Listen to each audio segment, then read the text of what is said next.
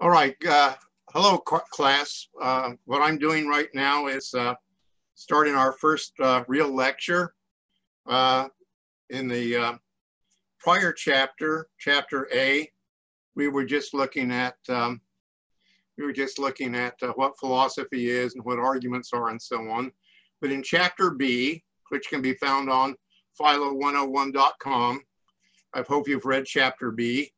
It's on um, that's an introduction to free will and determinism. And I'm just going to be going over basically what's in the first um, uh, first five chapters, uh, uh, first five pages of chapter B. And it's an introduction to the problem of free will and determinism. Uh, what is the problem of free will and determinism? Well, the problem is, is that uh, sometimes in philosophy we have two incompatible or seemingly incompatible beliefs. We believe two different things that can't both simultaneously be true, or at least that's what we think. Uh, in this case, most of us think that we have um, have the ability to uh, change the paths our life uh, takes. Uh, we think we can choose uh, what we're going to do, and sometimes uh, our choices are accidental. They depend upon things that that are just beyond our control, and sometimes things things are beyond our within our control. And uh, for example, if we're out on the desert, we get lost. If we, uh, we uh, read the map and uh, read the signs, we might uh, well uh, see that, oh, well, to get back home, I need to follow that sign. Well, determinism, what is determinism? Determinism is the view that, um, here's a definition of determinism. Determinism is the view that everything that will ever happen in the whole universe, everything that will ever happen is the inevitable result of prior events. And these prior events cause exactly the next event and no other event to happen. And what that means is in a deterministic system, um, our future is set in stone. Everything we do is determined by prior causes. It's, uh, it's caused to be exactly one event, the only event that can uh, follow those, those uh, particular uh, events that came before. And so uh, one of the questions uh, that uh, you might uh, have is, why would anybody believe that determinism is true in the first place? Because it can seem pretty obvious to most of us that uh, many times uh, things are not determined by prior events. For example, take my hand. I can make it go up, I can make it go down. nobody's forcing me to do that. Or if I go to the to the store and um, and uh, they have uh, maple bars and apple fritters. I can choose which I want if I have the money. Nobody's forcing me to take, take one or the other. And uh, it's up to me. And uh, we think that uh, nobody could predict, especially if I flip a coin or uh, do something like that. the future is up to random events and what I choose. But so what are some of the reasons why people believe determinism is true? That's what I want to go over briefly uh, in this uh, in this preface to the chapter. So uh, let me replace this and uh, uh, put something else over here. So I'm going over the reasons why uh, in our tradition, the Western tradition, many people have believed that determinism is indeed true. Well, and these reasons come from uh, learned people usually, from uh, theologians, uh, people who believe in God, and from scientists, people who believe in uh, physics and so on. So, so these are, I, I listed five different uh, kinds of reasons that people have used, have appealed to, to uh, say that, well, they think that determinism is true. I don't think all of them are good ones, but here the first one is God is omniscient. God is omniscient. Many people believe that God knows everything, that God knows everything that has ever happened. He knew everything that you would ever do prior to um, uh, billions of years before you even existed. He knew everything you would ever do, every thought you'd have, every time you'd scratch your nose, anything. He knows everything about you uh, billions of years before you even existed. And uh, if that's true, if God uh, knows everything, that he knows the future, and if he knows the future, he knows exactly what you're going to do. Well, if he knew exactly uh, what choice you're going to make when you decided to rob a 7 Eleven store, how can you be held responsible for that? And how can you think that you had free choice in that matter if God knew billions of years ago exactly what you're going to do? So that's one. Now, not all Christians believe that God is omniscient. Some of them think that God has given us uh, a kind of free will so that we, we can freely choose to be good or bad. Well, that raises other problems we'll get to later. The second one, and the, I think one of the most compelling reasons why physicists and uh, scientists have come to believe in, uh, in determinism is uh, Newtonian physics, uh, uh, the kind of physics developed around the, the time of Descartes by, is was that what it was? Sir Isaac Newton developed the laws of physics and Galileo Galilei had roughly the same same physics. And this, this physics uh, uh, convince people that that uh, science uh, science uh, can explain all all movements, all motions in the universe. And so uh, there's the bit about gravity. That's the, the, there's a law of gravity that things attract each other uh, uh, uh, in proportional to their uh, relation to their masses and inversely proportional to the square of the distances between them. And then there are the, uh, there's the uh, three laws of motion. Like things do not move unless there's some other object, physical object that causes them to move. Um, and every action has an equal opposite reaction. All these, the three laws of motion are uh, reducible to one. Uh, force equals mass times uh, acceleration. But anyhow, uh, one of the things that will be on the exam is uh, one of the things you need to know about physics, Newtonian physics, is uh, it has two postulates. What are the two postulates of Newtonian physics? Well, the first is that everything, everything in the universe, that's including you and me, our brains, everything about us, and everything else in the universe is made of atoms. Um, Newton thought they were indestructible little things like billiard balls. And the second postulate is that all atoms obey the laws of nature. Well, this kind of a system with those two postulates is a deterministic system. Uh, think of it this way. If you have billiard balls on a table, on a pool table, and uh, you get them all together and you take your, your stick and you break and hit them, if you know exactly uh, the relative positions and, and uh, uh, shapes and masses and so on of these of these uh, objects in the pool table and the force that uh, they use to make them break and so on. If you knew all those uh, exactly, these physicists say there's only one way they're going to end up. And the universe is just, uh, according to Newton, was just a great big mass of, of atoms.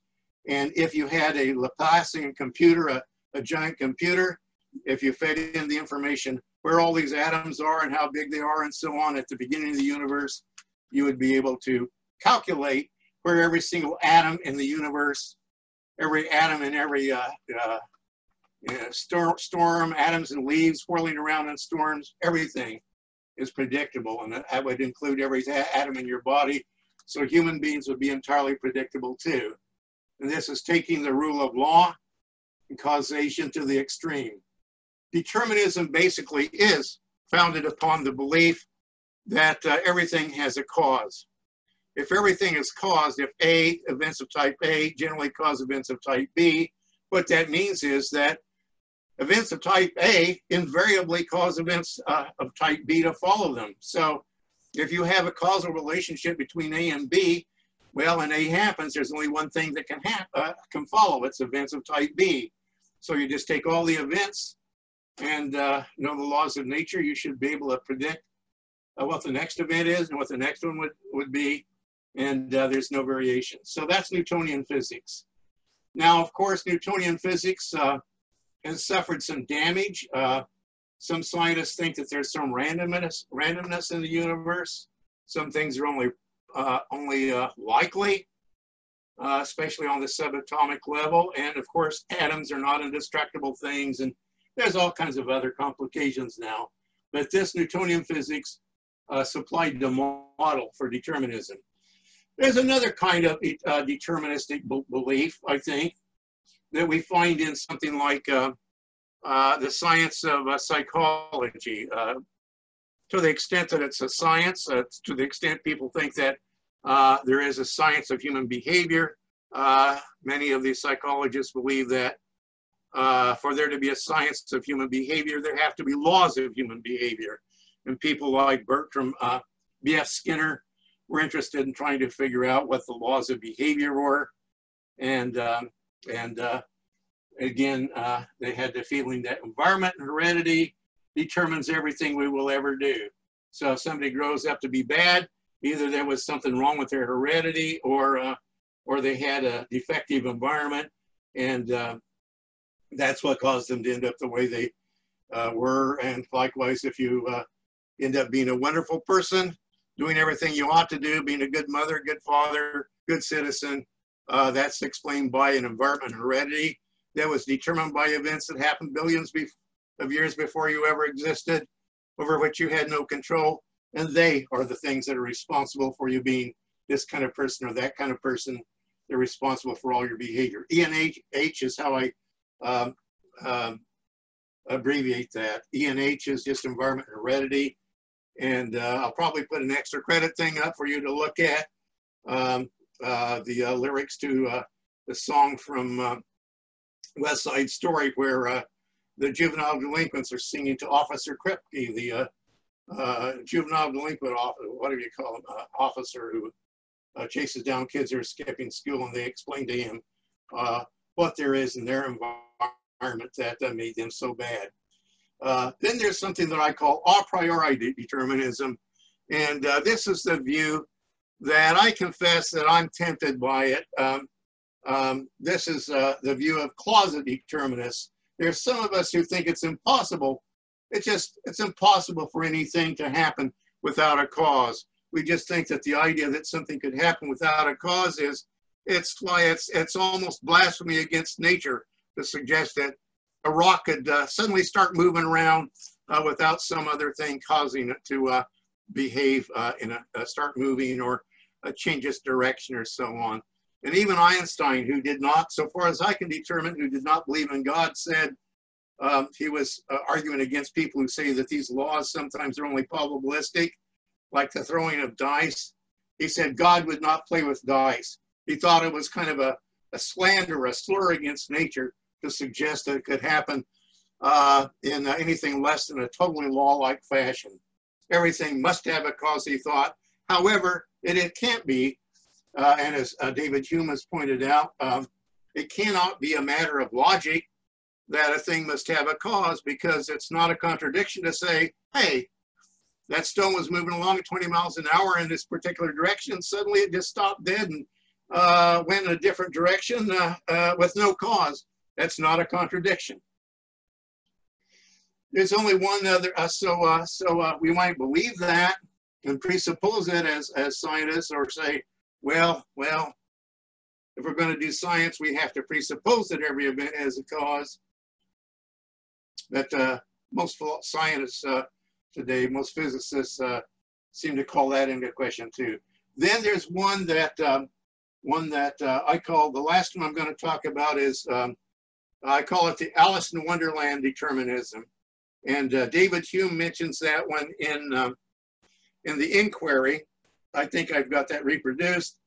And uh, his argument, I call it Alice in Wonderland because he's saying, saying that nothing could happen by chance because chance is not a physical object with any causal powers.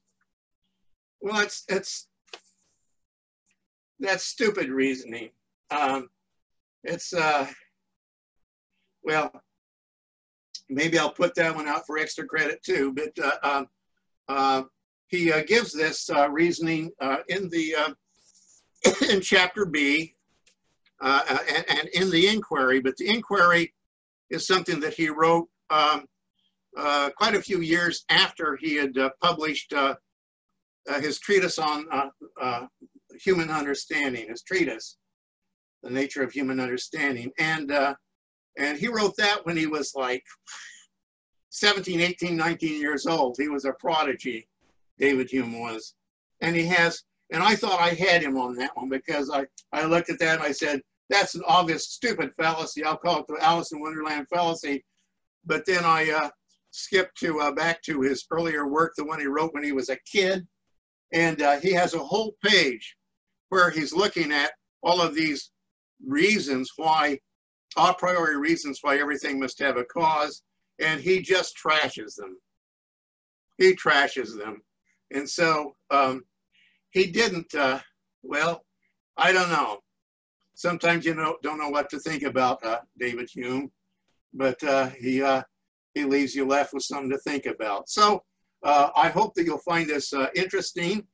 I want to warn you that this, this particular philosophical problem we're going to cut our teeth on is one of the most difficult, I think, problems in philosophy. I don't think it's the most. It's not the most complicated, but it is not an easy one. I wrote a 60 page paper once and I shared it with one of my colleagues at, uh, at uh, Stan, Stan State when I taught there. And, uh, and he was explaining with enthusiasm what I was claiming in my paper. And clearly he didn't understand what I was saying. well, I guess that's my fault. But anyhow, uh, there are certain things about the problem that just make it uh, seem impossible to figure it out. And I think I'm still uh, still uh, discovering things that will make it a little more simple. But anyhow, I hope that uh, you'll uh, look forward to this. And it does have ramifications in our life, or it would seem to, because if science is right that we live in a totally deterministic world, and psychologists and uh, are right that everything we do is determined by an environment that we didn't didn't choose, it does seem seem a little bit awkward to hate people and punish them for doing things that it was inevitable that they did and that are caused by an environment heredity they didn't choose. I don't think that is, uh, well, I think that problem has an answer. And I think that in the end, um, uh, compatibilism is correct. Uh, compatibilism is the view that uh, is is uh, advocated by David Hume and by uh, by uh, Stace and Ayer in chapter B. Uh, so um, one of the things you want to do, look for in this chapter as you read the rest of it is you want to look and see uh, why they think that determinism is compatible with uh, any kind of free will you could reasonably want. And that as a matter of fact, free will or freedom of choice requires, it actually requires that you be a deterministic being. Without determinism, you can't learn anything.